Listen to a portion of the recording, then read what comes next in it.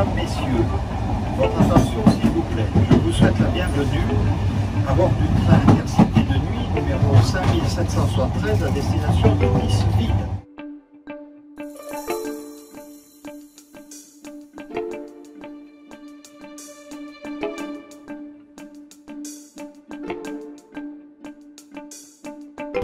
Exceptionnellement, ce n'est pas votre chef de bord qui vous parle, mais le Premier ministre.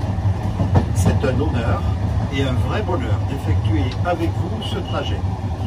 La décision de reprise de cette ligne est pour moi une grande fierté, bien sûr à ma qualité de chef du gouvernement, mais aussi pour le passionné de ferroviaire que je suis et pour l'usager de longue date des trains couchettes.